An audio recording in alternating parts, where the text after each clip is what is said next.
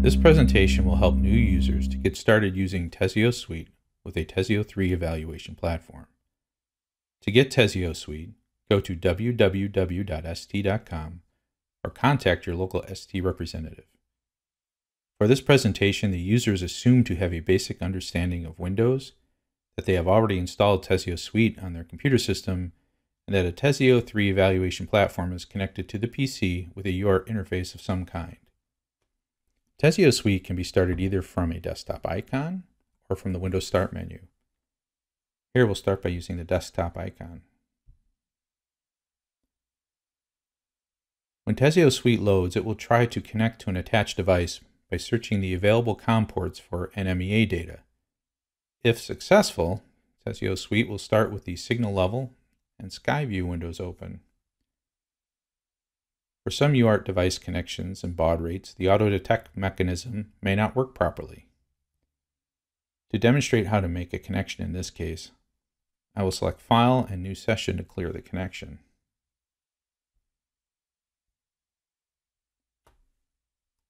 This opens the Configuration Session window. This is how Teseo Suite starts if no device is detected automatically.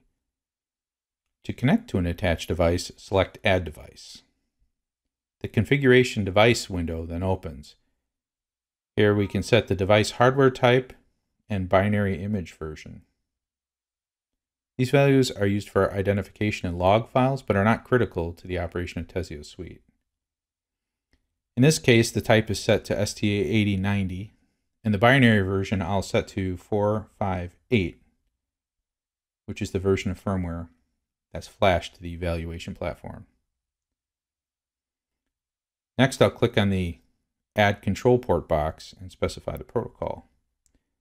In this case, NMEA. I'll select the COM port number, baud rate, data rate, parity, and stop bits. The defaults are what are shown here. 115.2K, 8 data bits, no parity, and 1 stop bit. I'll then hit OK to save the settings and close the window. Now we will have a device added to our session. Click on the Connect Control Port checkbox to allow this device to be connected to. If the Record Control Data checkbox is selected, data logging will automatically start when the device is connected to. Logging can also easily be started on demand with a simple button click, so I'll leave this unchecked for now. Click on the power plug icon to connect to the device. If the connection was made, some of the icons in the toolbar will no longer be dimmed. Clicking on the icon that looks like an eye with an N in it will open the NMEA command window. Here we see all of the NMEA data that is streaming from the device at the fixed rate. By default, this rate is 1 Hertz. To start logging the data to a file, click on the icon that looks like a CD with an N on it. The CD will turn red indicating that logging is active. Whenever logging is enabled, a new file name with the session name, device name, firmware revision, and a time date stamp will be created.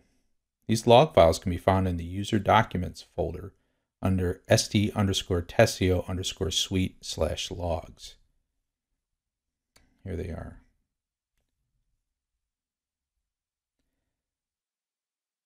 So these are standard ASCII text files that can be opened in any text editor. Back to the NMEA window. Besides just displaying the NMEA stream, this window can be used to filter data, parse specific messages, and send NMEA commands to the device. For example, on the left is the message filter window. We can filter messages by clicking on the X to turn off all the messages find a message we want. In this case, we'll select GP RMC and then hit refresh. Now we can see we're only displaying the GP RMC messages in the window. To restore to the previous state of displaying all the messages that are sent in the stream, we can hit the check all button, which is this green check mark, and hit refresh again and all the messages are back. Another way to filter messages is by using the pattern filter box at the bottom of the window. Here we can just type in RMC and only messages with the text RMC in them will be displayed. This is case sensitive. So for example, a quick way to see the CPU data would be to type CPU.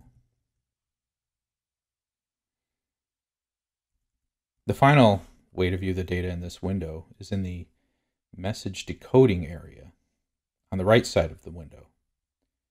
Here we can select a specific message in the dropdown. Once again, we'll select GP RMC. And then if we have the follow last frame received checked, every fix we will see the new message decoded in this window. In this case, we can see the timestamp, position, velocity, and course.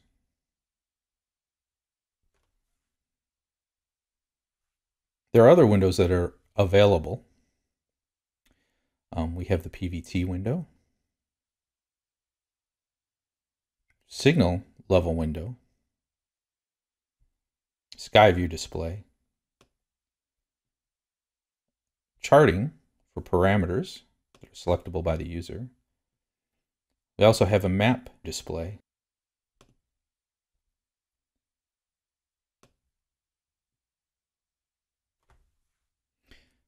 There are many other features in Teseo Suite. For further information on the features presented or what other features are available, please refer to the Teseo Suite user manual. This is accessible from the Help menu within Teseo Suite. This has been a presentation to get new users started using Teseo Suite with the Teseo 3 family of products. For further information about ST's Teseo line of GNSS devices, please go to www.st.com or contact your local ST representative. Thank you.